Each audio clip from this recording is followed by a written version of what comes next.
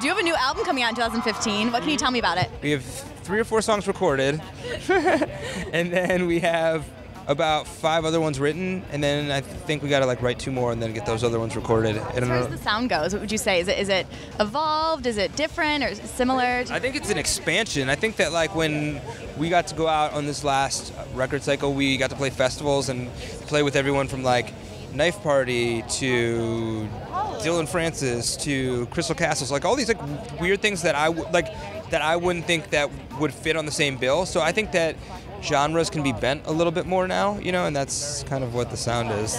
How was it touring with Paramore? It was awesome. Yeah, it was excellent. I think it was like uh, kind of the perfect pair in the way that I think that most people that came to the shows uh, were fans are open to either band at least, you know, and then we just like barbecued a lot and hung out. And October's your favorite month. Tell me why. It is. It's like Halloween month, you know, oh, like yeah, we dress up all the time. Nice. Yeah. Thank you. Have fun tonight. Good luck.